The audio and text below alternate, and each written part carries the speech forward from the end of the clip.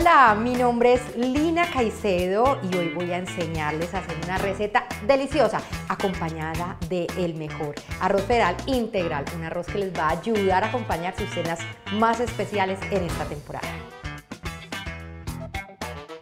Recuerden que el arroz integral es súper saludable. Una taza de arroz integral tiene 12 gramos de carbohidratos y 1.8 gramos de proteína. Así que los invito a incluir en sus alimentos arroz integral federal.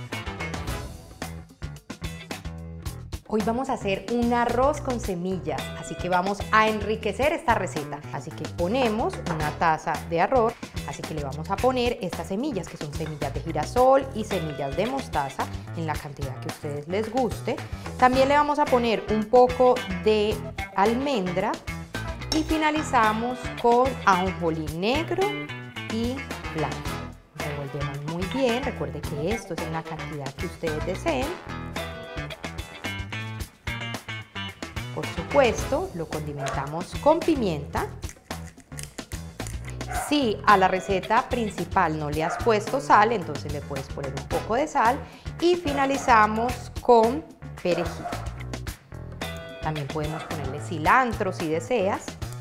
La idea es que tenga ese toquecito verde maravilloso de esta temporada. El arroz integral en combinación con la semilla nos va a quedar con un aporte biológico maravilloso. Aprovechemos cuando el arroz está caliente para hacer la mezcla. Así se activan las semillas e inmediatamente podemos ver cómo sale la grasita que nos va a aportar más nutrientes a nuestra receta.